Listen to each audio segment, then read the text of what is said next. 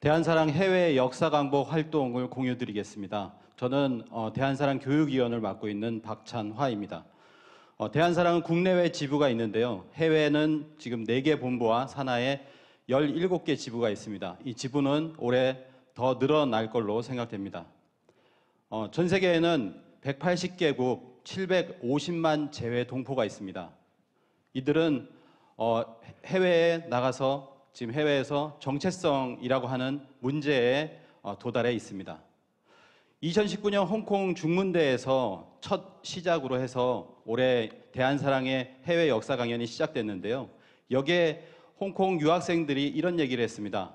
중학교 때 미국에서 살 때에는 미국의 역사를 배우고 중국에서 살 때는 중국의 역사를 배우고 홍콩 대학교에 다닐 때는 홍콩의 역사를 배웠는데 정작 한국 사람인 나는 한국의 역사를 모른다는 사실에 정체성의 혼란을 받게 되었다. 이렇게 얘기를 하고 있습니다. 또한 유학생은요, 필리핀에서 고등학교를 다닐 때 항상 중국 친구, 중국 친구들에게 너희 한국은 우리 중국의 속국이었다. 라는 말을 엄청 많이 들었다고 합니다.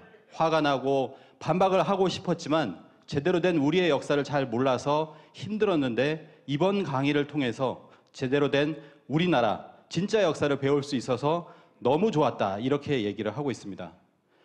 정체성의 혼란을 바로잡고 진짜 역사를 배우는 것이 바로 어, 대한사랑의 해외 역사 활동인데요. 2018년 해외 역사 문화 알리기 활동을 알아보도록 하겠습니다. 3월에 말레이시아를 시작으로 해서 어, 3월 말에 오사카, 고베, 아시아에서 역사 활동이 있었고요. 그리고 4월에 오사카, 고베, 아시아에서 다시 한번 고대사와 이번에는 근대사, 동학과 보천교의 독립운동에 관해서 다뤘습니다. 6월에 말레이시아에서 사, 어, 네 차례에 걸쳐서 세미나가 있었고요. 7월 필리핀 그리고 11월 필리핀 마닐라에서 다시 한번 어, 강의를 하게 되었습니다. 그리고 11월 18일 인도네시아 자카르타까지 아시아에 있는 여러 국가에서 이 대한사랑의 역사 강연을 이렇게 하게 되었는데요. 여름이 되자 8월, 9월에는 미국 동부와 서부에 역사 강연이 있었습니다. 시카고, 뉴욕, 워싱턴에서 1, 2차, 3차에 걸쳐서 강연이 있었고요. 그리고 11월 달에는 박석재 박사님께서 시카고와 워싱턴에 다시 한번 오셔서 강연을 진행하였습니다. 미국 서부에서는 LA, LA 아리조나, 그리고 샌프란시스코, 오클랜드에서 강연이 있었고요. 그리고 11월 달엔 역시 박석재 박사님께서 LA와 라스베가스에서 어, 강연을 하게 되었습니다. 8월 24일 LA의 강연을 보시면요. 환단고기를 읽어보겠다라는 분들이 있었고요. 그리고 이 토론에서는 한국 정부와 학계에서는 왜 역사 왜곡에 신경을 안 쓰느냐 이런 이야기를 했습니다. 9월 15일에서는요. 우리는 지금까지 왜곡된 역사를 배워왔다. 우리 자식들은 결국에 자신의 민족 정체성을 찾으려고 한다. 미국 내에서 소수민족으로서 우리 민족의 자긍심을 심어준다면 우리 아이들이 자주시, 어, 자부심을 갖고 경쟁할 수 있을 것이다. 이렇게 얘기를 하고 있습니다. 그래서 9월에서부터 11월, 어, 11월까지 미국에서 이렇게 미국 동서부에서 강연이 있었습니다. 그리고 마지막으로 유럽에서 강연회가 있었는데요. 11월에서 12월 독일 베를린 에센 함부르크 프랑크푸르트 그리고 오스트리아 비엔나 크로아티아에서 강연이 있었는데요. 어, 5년 전에 독일 베를린에서 환단고기 북콘서트가 있었고요. 그리고 독일 베를린에서 그때 당시에 오셨던 400여 분 중에서 또다시 이 우리 강연에 이렇게 참석을 해주셨습니다. 그리고 11월 15일 독일 에센에서는 파독 산업전사 세계 총연합회 기념식이 있었는데 여기에 초청을 받아서 사전 강의로서 이렇게 가게 됐습니다.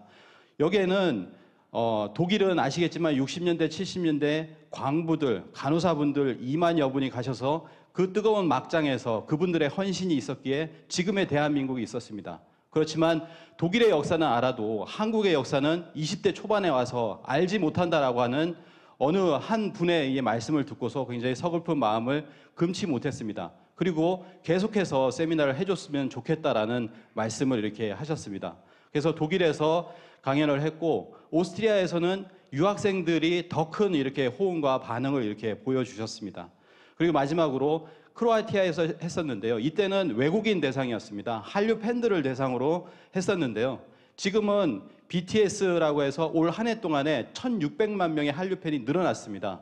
그렇게 많은 사람들이 늘어났는데 이제는 당신의 나라 한국에 대해서 알고 싶고 역사 문화에 대해서도 더 알고 싶다 이런 얘기를 했습니다. 그분들이 요청했던 강의의 제목은 태극기입니다. 태극기에 어떤 철학이 담겨 있느냐 이거에 대해서 알려달라는 것이 크로아티아 한류 팬들의 이야기였습니다. 2019년 이제는 여기 계신 분들과 함께 우리가 해외를 함께 나가보려고 합니다. 2019년 기해년 대한사랑 해외 역사 문화의 대장정은요 100주년을 맞이해서 3.1운동은 행정구역이 전세, 어, 전국의 행정구역이 96% 223개 지역에서 동시에 일어났다고 합니다. 우리가 전국에서 지금 일어나고 있고 그 다음에 해외에서 같이 분연이 일어나야 된다고 생각을 하고요. 홍콩을 시작으로 해서 750만 재동포, 1억 전 세계 한류 팬, 그리고 그 중에서 한국어, 한국에 관심 많은, 더 관심 많은 사람들, 그런 사람들을 위해서 이제 뛰어야 된다고 생각합니다. 누가 우리의 얼과 역사를 2세에게 전해주겠습니까? 과연 누가 우리의 역사와 문화를 세계에게 전하겠습니까? 줄탁통시라고 하는데요. 아래서 깨어나려고 하면 전 세계 다른 나라에서 깨어나려고 하면 우리가 가서 그게 동시에 이렇게 깨뜨려 줘야 된다라고 생각을 합니다. 그래서 이 국내에 그 한 사람이 있습니다. 여기 계신 자문위원, 고문위원님 그리고 오신 천여 분 이상의 되시는 분들이 단 한 사람 해외에 있는 역사 의식이 있는 그 한 사람이 있다고 하면은 그 한 사람과 함께 대한 사랑이 함께 할 것입니다. 예, 감사합니다.